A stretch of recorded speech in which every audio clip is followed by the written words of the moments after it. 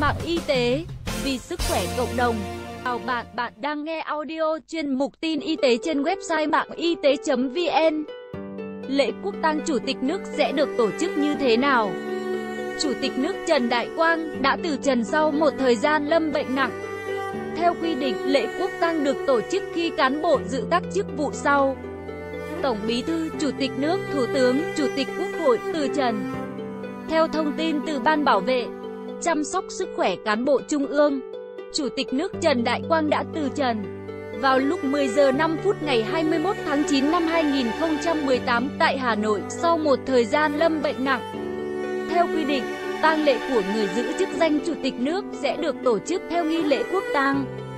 Cụ thể, việc tổ chức lễ quốc tang được quy định tại Nghị định 102 phần 2012 NDCP về tổ chức lễ tang cán bộ, công chức, viên chức. Dưới đây là một số nội dung tổ chức lễ quốc tang. 1. Chức danh được tổ chức lễ quốc tang. Cán bộ đang giữ hoặc thôi giữ một trong các chức vụ sau đây khi từ trần được tổ chức lễ quốc tang. Tổng Bí thư Ban chấp hành Trung ương Đảng, Chủ tịch nước Cộng hòa xã hội chủ nghĩa Việt Nam, Thủ tướng Chính phủ nước Cộng hòa xã hội chủ nghĩa Việt Nam, Chủ tịch Quốc hội nước Cộng hòa xã hội chủ nghĩa Việt Nam. Bộ Chính trị quyết định việc tổ chức lễ quốc tang đối với cán bộ cấp cao khác có quá trình đóng góp và công lao to lớn đối với sự nghiệp cách mạng của Đảng, Nhà nước và nhân dân có uy tín lớn trong nước và quốc tế. 2. Ban lễ tang nhà nước và ban tổ chức lễ tang. Bộ Chính trị quyết định thành lập ban lễ tang nhà nước gồm từ 25 đến 30 thành viên, đại diện Bộ Chính trị, Ban chấp hành Trung ương, Quốc hội, Chủ tịch nước, Chính phủ, Ủy ban Trung ương Mặt trận Tổ quốc Việt Nam, các đoàn thể trung ương, cơ quan, nơi người từ trần đã hoặc đang công tác, đại diện lãnh đạo tỉnh, thành phố, trực thuộc trung ương quê hương hoặc nơi sinh của người từ trần.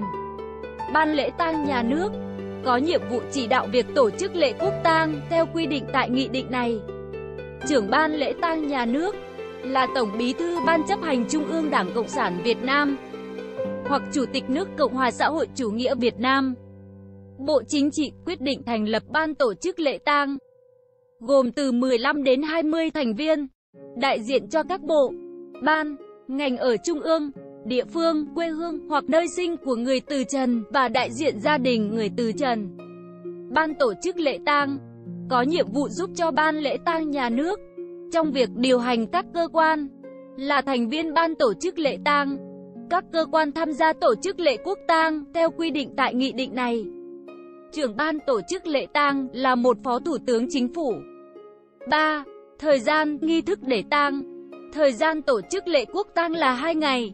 Trong thời gian này, các cơ quan, công sở trong phạm vi cả nước và các cơ quan đại diện của Việt Nam ở nước ngoài treo cờ rủ, có giải băng tang, có kích thước bằng 1 phần 10 chiều rộng lá cờ, chiều dài theo chiều dài của lá cờ và chỉ treo cờ đến 2 phần 3 chiều cao của cột cờ.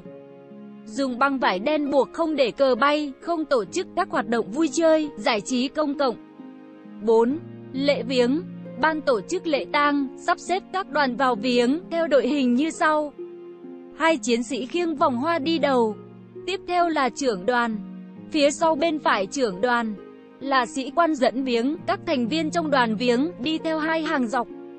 Ban tổ chức lễ tang tổ chức đón và xếp các đoàn đại biểu nước ngoài, các cơ quan đại diện ngoại giao, cơ quan lãnh sự, cơ quan đại diện của tổ chức quốc tế tại Việt Nam và các cơ quan, cá nhân nước ngoài khác có nguyện vọng đến viếng và ghi sổ tang.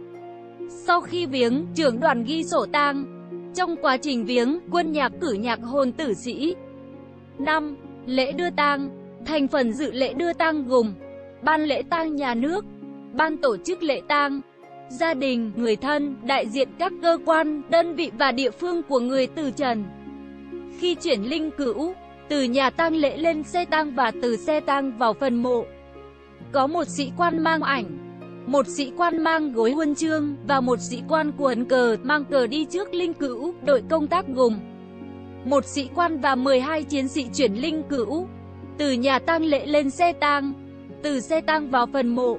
Trưởng ban, phó trưởng ban lễ tang nhà nước, cùng khiêng linh cữu, phía đầu linh cữu, gia đình và các thành viên khác đi phía sau linh cữu. Nguồn Dân Việt Nội dung bài viết đến đây là kết thúc. Nếu bạn có thắc mắc, câu hỏi gì xin hãy chia sẻ bình luận bên dưới bài viết này. Mời bạn hãy đăng ký kênh Mạng Y tế, chia sẻ bài viết này tới bạn bè và theo dõi thêm những audio tiếp theo.